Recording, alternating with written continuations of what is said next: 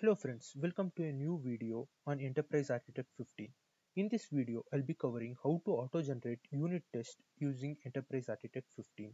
So you'll be thinking what is what does this do or what does it help? So basically we were generating source code.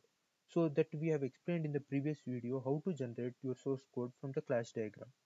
Now we are doing a transformation on the source class diagram to generate the unit test class diagram and then in turn generate the uh, unit test code itself. So and a complete end to end you'll be able to generate even the unit test code from your class diagram itself. So how does it help? It helps in faster development and uh, easy modifications and uh, it adds good amount of traceability because you have the class diagram for the even for the unit test case. So let's go through how to do this uh, auto generation part of uh, unit tests in uh, in enterprise architect 15 so i've basically created a test project. So to add the start doing the project you have to add an uh, modeling wizard. So once the modeling wizard uh, you have to select a starter class diagram or any of the class diagram. So we hit uh, once we hit the class diagram the class diagram uh, class would be created. So basically i want to use a example. So let me delete off uh, class uh, a and b and create our own class so to start off with that we'll uh, take the example of simple example of student so that everybody gets it. And uh, student uh, will add uh, one more uh, com composition of address class.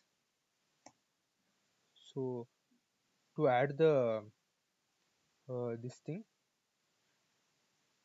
what is the whether it is an uh, so aggregation or an composition it will be in composition to whole. But because each student will contain an address. So that is the link between student and address. So now let's start uh, adding uh, students uh, properties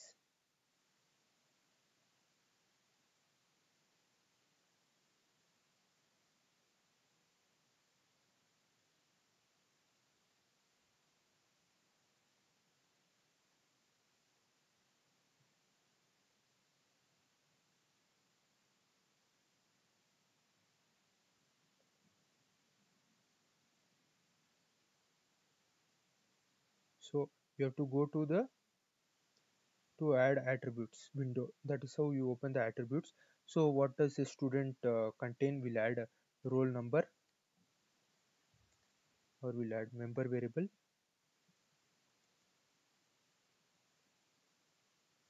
Roll number. We, this will be of type okay we'll keep it int. And member variable say something called grade this will make it as uh, type will be of character like abcd and we'll keep it as uh, scope as private. So now to add the operations uh, we'll add the getter and uh, setter functions. Uh, get uh, roll number. Hmm, and uh, get grade and we'll add setter function set roll number and similarly add set uh, so basically I'm adding here below uh, get uh, set uh, we have added this set grade. So that is done. So let's keep the simple let's keep the return parameters as uh, void but uh, for uh, getter function setter functions will keep it void. This will uh, get grade should uh, return us um, an integer. And no this is get grade should return a character because we are doing and this should return get roll number should return int. And set uh, grade should return let's keep it void for now. Or you can keep a bool whether true or false but uh, parameters now you can uh, set uh, parameters uh, you can say grade grade which is of type char and the direction is in that is simple. Next one more thing is uh, roll number and that is int. Okay perfect.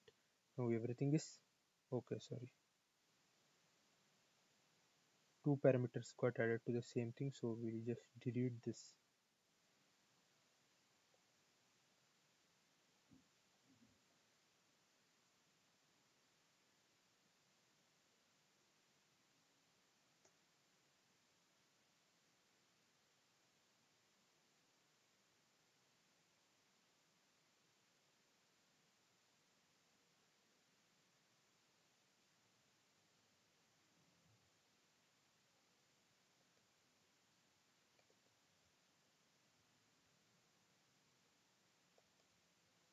okay it's not allowing to delete we have to add again. Uh, if we make any mistake i think we have to add.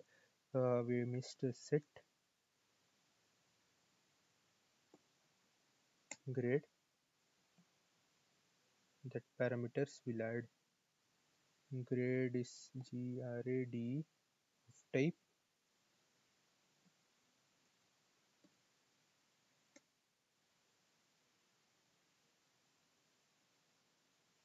that's it. We have to come out. And here now set roll number. We have to add roll number. Int perfect. Everything is proper. So we have done the class diagram for the student part. You can see here. Student member variables of grade and roll number char and it and setter and getter function. Now we'll keep the address class uh, simple. We'll uh, we'll add a set uh, we can add attributes such as door number and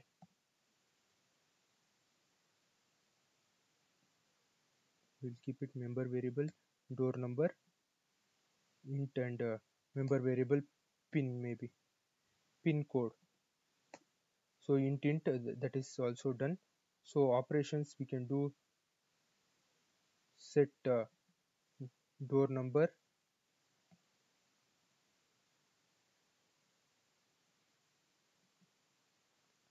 Set uh, pin. So setter functions. Let me make this here.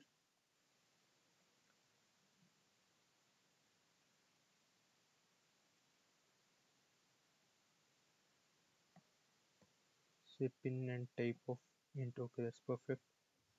Set door number.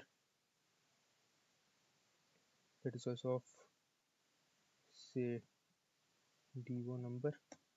That's also perfect. Now we'll add get uh, maybe get uh, door number. Return type will be int and get pin code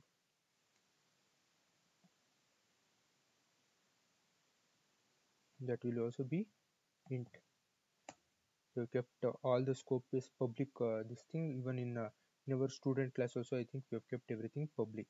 So this we can close and we'll concentrate on our class diagram now. Many to one you can change uh, the relations everything in the properties i've shown related to this in the previous video. Now we have generated our uh, class diagram. So to we can generate the code based on uh, this thing. To do that we have to just go uh, and uh, generate the code as I've shown in the previous video. You can go to development here generate and uh, generate it. But here is a one more additional step if you want to generate the uh, uh, unit test also. So to do that we have to go to transform. So ah, here tools. And tools and uh, in the design part you have to go to the transform. So you have to do an apply transform. So apply transform of both student and this thing you can search now junit because we'll generate java code. So we we are writing junit and select all and hit do transform. Done we have now generated the unit test uh, class diagrams also. You can see here unit test you can see started di diagram. Inside that we have generated address.test and student.test so to see that class diagram it will be like this. JUnit framework test case. Now very simple thing is to go and now simply generate the complete code. You have to go generate and hit generate all. If you would have generated before then it won't uh, generate uh, all the things. So you can hit uh, auto generate files. You have to give the root directory. So let me give the root directory as uh, now this thing where it has to generate. So it will be uh, unit test auto generated code you can give complete directory outside also so that you generate the complete code. Let's go through the complete code.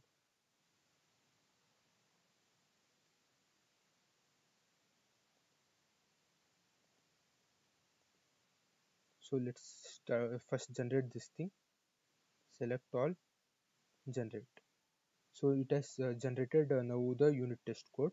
Now again we'll uh, select the starter class diagram. Okay now address and student we have selected and hit generate now we have generated the complete code. Now let's you can see. The starter it has generated all our four classes student and address and with the, even the test cases. So now let's go through the code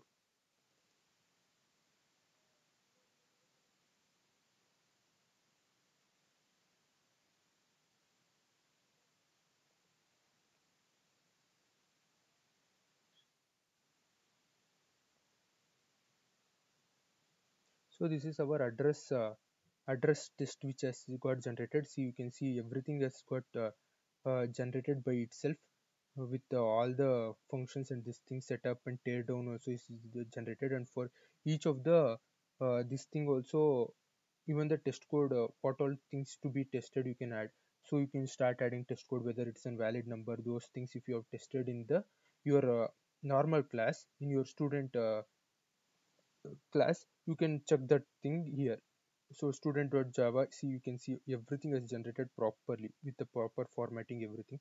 Student with the private members uh, and uh, and uh, its uh, setter and getter functions everything has been generated. You have to just write the logic and start implementing the uh, even the code. So let me open even the student test. So this also it has generated you can see student test what all things main setup everything. Everything with proper formatting it has developed. You have to just now start writing the logic uh, logic to it. So now i think this will this has helped you a lot uh, by generating both the test code and the uh, normal class diagram. So this is how you create the class diagram and you can auto generate and go to uh, this cl uh, this classes which has all the this methods. You can see set up set down and all the test cases for this for all the member functions which are you there. Then you you automatically generate the complete code. So you'll get all the all the classes here. So hope uh, this helps you in uh, development. It is uh, very helpful. Uh, if you if you're doing even big big projects you can uh, automatically generate everything. So hope this helps so subscribe to my channel if you want more details on enterprise architect 15